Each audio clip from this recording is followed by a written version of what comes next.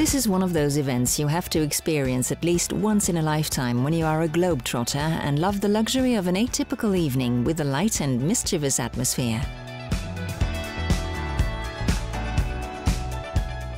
Between the reality of the most delicate gastronomy and the phantasmagorical world of the show, Brussels designer and scenographer Charles Kaisin has struck again to make live experiences poetic and tasty, beyond any dream and fantasy. His concept? Unconventional surrealist dinners, inspired by, of course, Belgian surrealism that are attracting luxury brands striving to celebrate the many festive occasions that adorn their lives.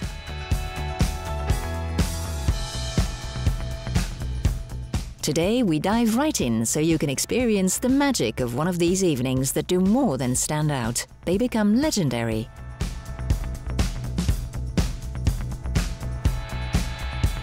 It's in Brussels, more precisely at the Palais des Beaux-Arts, renamed Bozar, that the formidable campaign Proud to be Belgian comes to a close, also under the patronage of the designer Charles Kaisin, who had taken up residence all summer at the Maasmechelen village, celebrating the colors of the Belgian flag in a custom print, pattern and decor for this village of the Bicester Village shopping collection.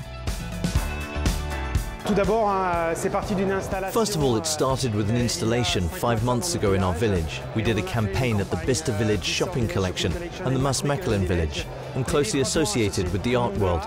Charles Kaisin, being an artist, designer, architect, the crossover was natural. The meeting point was natural to make an extraordinary event.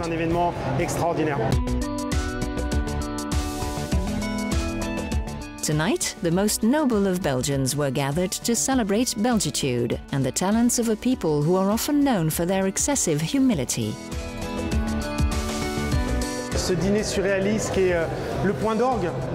This surrealist dinner is the proud moment of this campaign. Our guests were composed of artists once again linked to our DNA, the national and international press, and the brands with which we collaborate today, and those with whom we will collaborate maybe tomorrow and then all our partners who accompany us. Euh,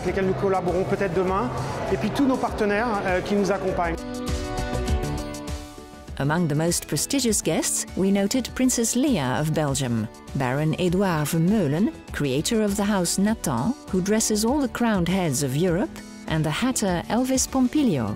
And of course, to direct and manage the evening, Charles Kaisin, who was very busy. It's a dinner that is said to be a surrealist dinner. So it's a dinner, you see, where there is only one big table.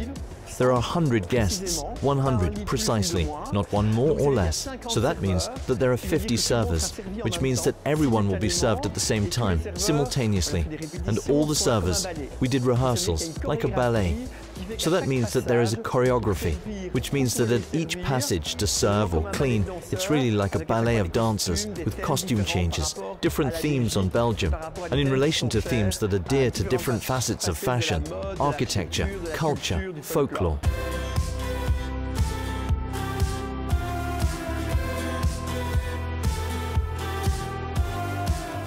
At the table for this proud to be Belgian evening, they were 100% Belgian guests enjoying the fine cuisine, staged as it should be, in a ceremonial choreography, constantly reminding guests what Belgitude is, like these black, yellow and red bells at the cheeky Manneken unveiling a smoked trout appetizer.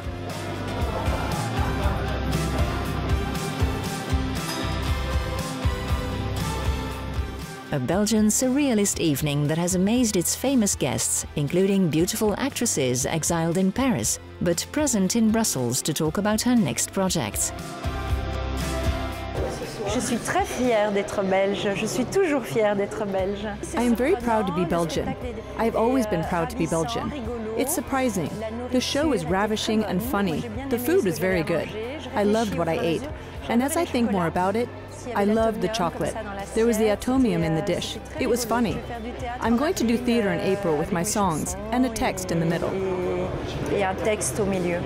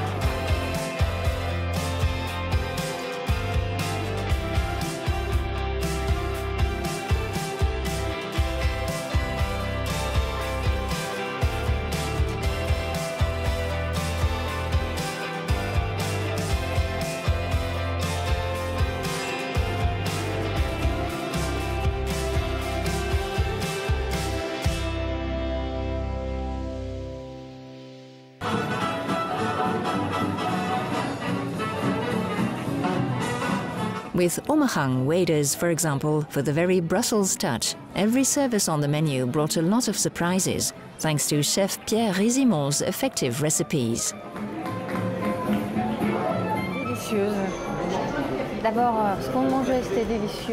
Delicious.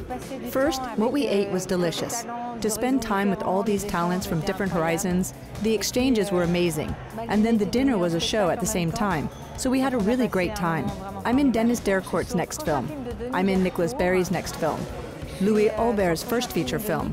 I have a theater project with Isild Le Besco, among others. There are other things still to come.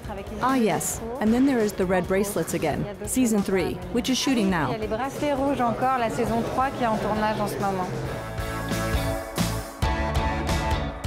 A worthy representative of Belgian surrealism, but for a literary version, actor and writer Stéphane de Groodt left the Parisian film sets to bring his little touch of madness to the adventure of the surrealist dinner, at the exit, a frame to better play on words.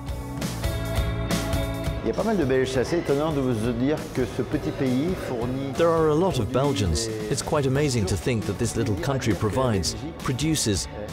Me, I always enjoy saying that Belgium is not a country, but a state of spirit. And it's true that one composes with our singular minds a particular state. I've always wanted to change the setting, but that's it actually. What's interesting is changing the rules, but keeping rules to recreate something within the frame, but to have a frame a little rounder, a little more rectangular, a little more square, a little bigger, a little smaller, but still have a frame, but to recompose it, reinvent the measure, the space, and to, inside the space, do something.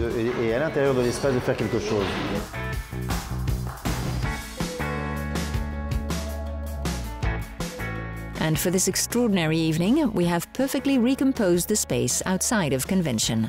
Between the pantheon of Belgian paper personalities, from Diane von Furstenberg to Benoit Poelvoorde and the play on themes, the dinner ends on a must-taste chocolatey note by a master in his field, Pierre Marcolini, who imagined an atomium, a tasty Belgian monument that is simply delicious. We are never safe from a stroke of luck, never. So tonight, that must be it. As they say in English, a lucky day. That's it, right? Years ago, I made a book with a photographer called Serge Anton, and I reviewed this picture, and I find it sublime and very surreal of the atomium. So one can or cannot like the atomium. There's a big debate about it. I told myself, when it comes down to it, I have to redo this picture, but out of chocolate. So already, it's a performance. The second thing is to extract from this photo a kind of ball that would come out of this chocolate, which would be this chocolate mousse with caramel heart, a little praline, and bring acidity, with what is called today a fruit called yuzu, which is a Japanese fruit.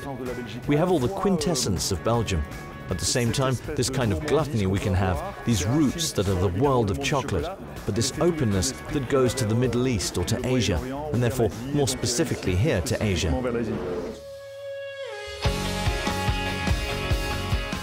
Everything made with great chocolates from two cocoa beans, one from Ecuador, 100% Arriba, and the other from Cameroon, a Yaoundé with a Forastero. After the pleasures of the palate, the show ends in style.